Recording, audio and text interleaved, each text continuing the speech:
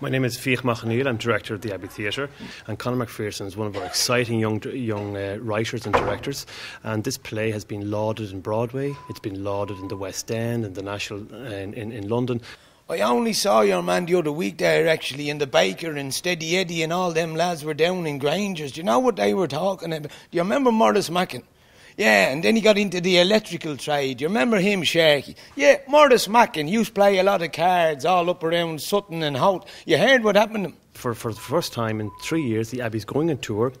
It's going to Letterkenny, it's going to Galway, and it's going to Cork. And I think for us, it's a very proud moment for us. But it's also, I think, a, a right that uh, that audiences across the country see the work of the Abbey Theatre, its national theatre, on tour, and we're very proud to present that. Yeah, it was all in the paper. You would have seen it. He was electrocuted up in a house where he was working in Santry.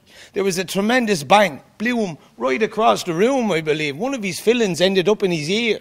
Now, somehow, he survived. They let him go home out of Beaumont Hospital, and then that night, there was a fire in his house, and he was gone.